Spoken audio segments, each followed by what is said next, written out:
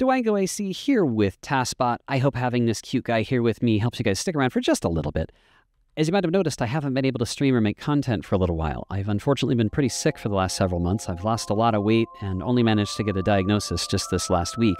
As I go into this treatment and recovery phase, I hope that I can entertain you with some TASBot Vault videos. There's some amazing stuff we haven't been able to show. Some of it has TASBot's original form or old intros, but I'm sure you'll love it. And at the end of each one of those videos will be something about National Alliance on Mental Illness. I'd be lying to you if I tried to pretend like going through this medical journey without having income or being able to work has been easy. I, I, there's been a lot of anxiety, it's been hard. And I want to destigmatize getting help for mental health aspects. NAMI has been with us for a number of years. We've done TASGiving and Desert Tesla Charity Drive and other charity events benefiting them and they've been a really good resource. They have a lot of stuff that they can help with. So check those out at the end of each of these videos. You'll also be more than invited. Please come to discord.gg slash TASBot, even if it's just to hang out, but we have tas.bot wiki content to update, various things that anyone can get, get involved in.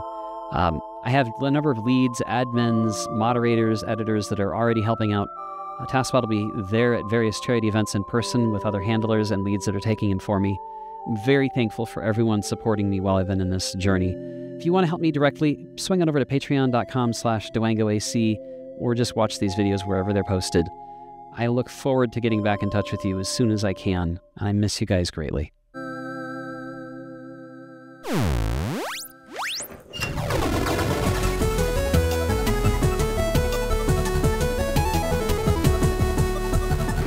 My name is Sauraen. I am Dwango AC, keeper of TASBot. With us today is also a couple of fantastic folks. My name is Big Salt. I'm a speedrunner of Ocarina of Time. You're sixth, sixth in the world, right? And I'm MBC. I am a, I'm a high quality ripper and a music arranger from Steve Gunner and Timmy Turner's granddad. so if you didn't read the panel description, uh, what we're doing is we're going to do the same setup that we did at GDQ for getting arbitrary code execution in Ocarina of Time. And then we will take suggestions from you about what to put into the game. And this is a real cartridge, real N64. First of all, we're going to do one music track. We're going to do a SiIvaGunner style melody swap. MBC is going to arrange it. On, on my side, I'm going to uh, you know, live 3D model in Blender a character and create the code for it. Uh, in various old video games, there sometimes is found an arbitrary code execution exploit. Arbitrary code execution means that the player somehow manages to write their own code into the console's memory just by playing the game and then get the console to execute that code. We use arbitrary code execution to install a set of data loaders in the console's memory, which will allow us to live patch the content of the game through TASBot from the host computer. So that is what we did at GDQ. We need to have one item that's loaded in a particular place that we then use a glitch to unload the item and without updating the fact that it's unloaded, and then load something else into the same place. And the something else that we load in is the code for another item.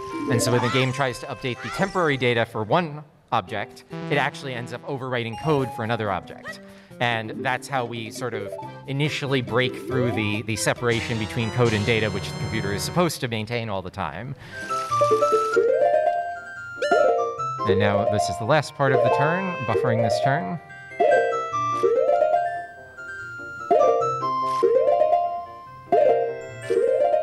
There we That's go. the one. All That's right. frame. So let's see what happens. So I'm switching controller one from Big Salt to TASBot. So TASBot is connected to all four controller ports right now. And we're going to run a little TAS movie. That's it. All right, let's give this a try. All right, here's where TASBot takes over. RTA.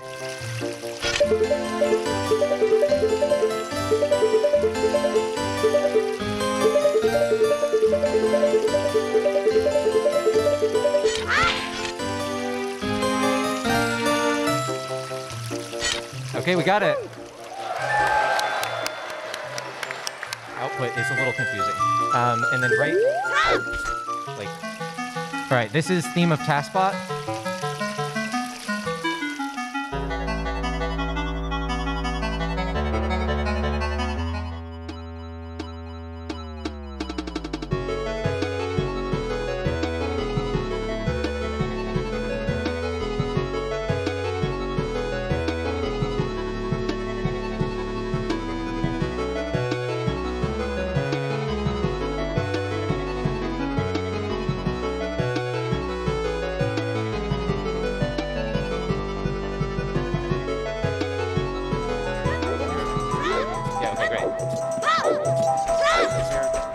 It's not entirely fixed, but is the text fixed?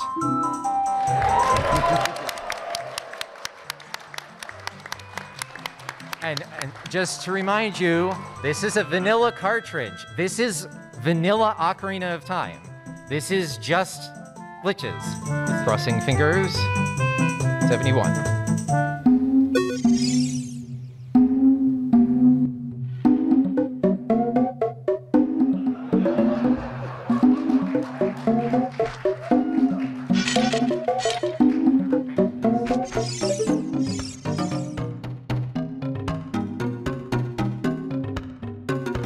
We hope you've enjoyed this look back at TASBot history. For the last few years now, TASBot has worked with NAMI, the National Alliance on Mental Illness. NAMI is the largest grassroots mental health organization in the United States, and in our current climate, our mental health matters. If you or a loved one is struggling, you are not alone. Visit NAMI.org to learn about the free programs and services near you. You can also call the NAMI helpline at 1 800 950 NAMI or text NAMI to 741 741.